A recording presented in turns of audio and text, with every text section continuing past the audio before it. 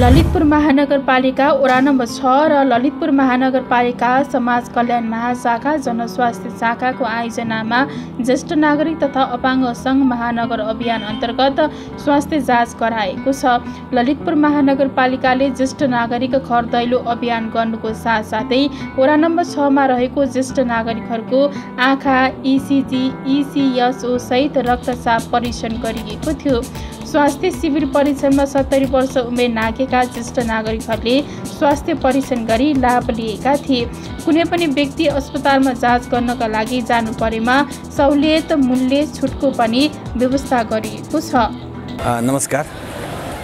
ज्येष्ठ नागरिक तथा अपाङ्गतासँग महानगर अभियान अन्तर्गत चाहिँ हामीले यस छवटामा चाहिँ विगत केही दिन अगाडिदेखि हामीले विभिन्न छवटाभित्र रहेका विभिन्न टोलहरूमा गई चाहिँ उहाँहरूको घर घरमा गई हामीले चाहिँ ज्येष्ठ नागरिक सत्तरी वर्षभन्दा माथिका ज्येष्ठ नागरिकको हामीले स्वास्थ्य परीक्षण गरेका थियौँ र त्यसै अन्तर्गत चाहिँ हामीले त्यहाँ आएका प्रब्लमहरूबाट चाहिँ हामीले विगत श्रावण चार गते एउटा हामीले मुटु तथा आँखा रोग शिविर सञ्चालन गर्ने यो आज हाम्रो दोस्रो शिविर हो।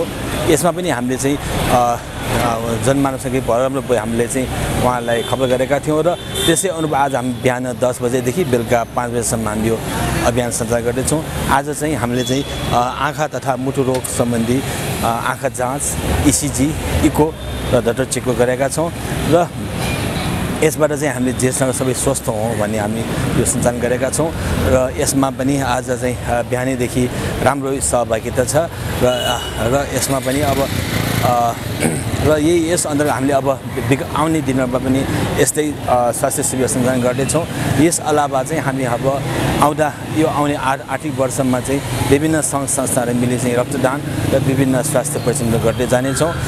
र प्लस यस हाम्रो यस वार्डमा पनि अ, स्वास्थ्य कार्यान्वयन समितिबाट चाहिँ हामीले ल्याब सञ्चालन ल्याइसकेका छौँ।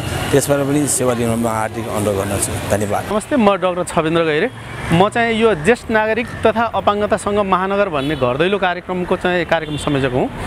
हाम्रो यो स्वास्थ्य संस्था नभएका नौवटा वार्डमा महानगरको उन्तिसवटा वार्ड छ। त्यसमध्ये हाम्रो नौवटा आफ्नो स्वास्थ्य संस्था नभएका ठाउँहरूबाट हाम्रो कार्यक्रम सुरु भएको छ। हामीले वार्ड नम्बर पाँचमा कार्यक्रम सक्यौँ र छको पनि हामी अन्तिम चरणमा छौँ। हामीले म लगायत दुईजना हामी सिस्टर र लोकल भोलिन्टियर सहित हामी घर घरमा जान्छौँ। हामीले ज्येष्ठ नागरिकहरू जो सत्तरी वर्षभन्दा माथिको उहाँहरूलाई जनरल एक्जामिनेसन गर्छौँ ब्लड प्रेसर लिन्छौँ सुगर लिन्छौँ पिसाब जाँच्छौँ र उहाँलाई जाँचिसकेपछि उहाँहरूको आवश्यकता अनुसार मुटुको जाँच र आँखाको जाँचहरू हामी क्लस्टर क्लस्टरमा टोल टोलमा गएर हामी उहाँहरूलाई फलोअपमा गराउँछौँ र यो कार्यक्रम चाहिँ हरेक बिहिबार मुटु र आँखाको जाँच हामी टोल टोलमा गर्ने तयारीका साथ हिँडेका छौँ। र उहाँहरूलाई पिसाब जाँदा केही समस्या भयो। हाम्रो नेपाल मेडिसिटी अस्पतालसँग सम्झौता छ र नेपाल सरकारको सेवा सुविधा लिने गरी उहाँहरूलाई हामीले एउटा समन्वय र पुलिङको काम गर्छौँ। र यसमा अहिले हामीले खास गर्न खोजेको एक खालको हेल्थ सर्वे पनि हो। हाम्रा सत्तरी वर्षभन्दा माथिका आमा बाहरू र अपाङ्गता भएका हाम्रा दाजुभाइ दिदीबहिनी आमा बाहरूलाई के समस्या छ? उहाँहरूको स्ट्याटस के छ? औषधि खानुभएको छ कि छैन? कसले पुर्याएको छ? कति महँगा छन्? के छ? यी कुराहरू हामीले एक खालको सर्वे पनि हामी चाहिँ एउटा डिजिटलाइजेसन गर्ने हिसाबले चाहिँ रेकर्ड राखेका छौँ। र यो रेकर्डहरू आइसके पछाडि हामी अन्य वार्डमा पनि जाने हो र यसको आधारमा यो कार्यक्रमलाई अझै परिमार्जित गरेर अगाडि बढ्नेछौँ। हामी ललितपुर महानगरपालिका वडा नम्बर छ स्थित यो चाहिँ ज्येष्ठ नागरिकसँग महानगरपालिका कार्यक्रममा छौँ। यसले विशेष गरेर स्वास्थ्य संस्थासम्म जान नसक्ने अशक्त ज्येष्ठ नागरिकहरूलाई चाहिँ महानगरपालिकाको पहलमा घर घरमा गएर अथवा टोल टोलमा गएर सुरु गरिएको सेवा हो। यसले गर्दाखेरि चाहिँ धेरैभन्दा धेरै ज्येष्ठ नागरिकहरूले यो सेवा लिनुभएको छ। अत्यन्तै जटिल र कठिन अवस्थामा रहनुभएको घरको चौथो पाँचौँ तलामा बसिरहनु भएको हस्पिटल जान नसक्ने अवस्थामा कहिले डाक्टरलाई भेटौँ कहिले मेरो रोग के छ भन्ने कुरो नै उहाँहरूलाई थाहा नभइरहेको अवस्थामा यहाँ हामीले उहाँको लामो समयदेखि उहाँहरू बिरामी भएर बस्नुभएको र उहाँले सेवा पाउँदा अत्यन्तै खुसी हुनुहुन्छ र हामीलाई पनि खुसी लागेको छ।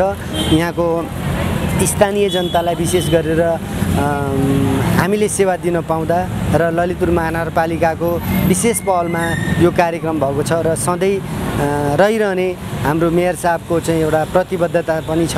हामी यसै कार्यक्रमलाई सफल बनाउन यहाँ आएका छौँ।